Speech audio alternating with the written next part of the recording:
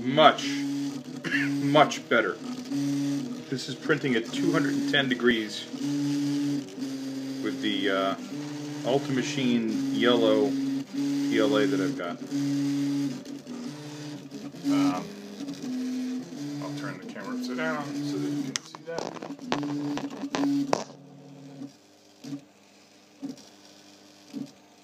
That. Uh, printing at 210 Celsius. Awesome. Looks much, much, much, much better. Actually, is melting. Wasn't coming out like that, which was awful. All right, there you go.